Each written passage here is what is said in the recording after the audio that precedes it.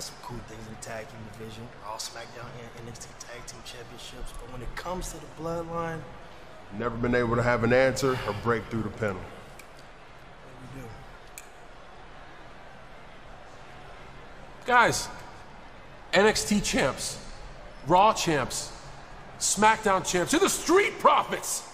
More energy than a bolt of lightning! That's 1.21 gigawatts! You never forget who you really are. You never forget how good you are.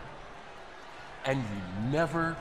So what you're saying is, never give up. We want the smoke. Sip the light.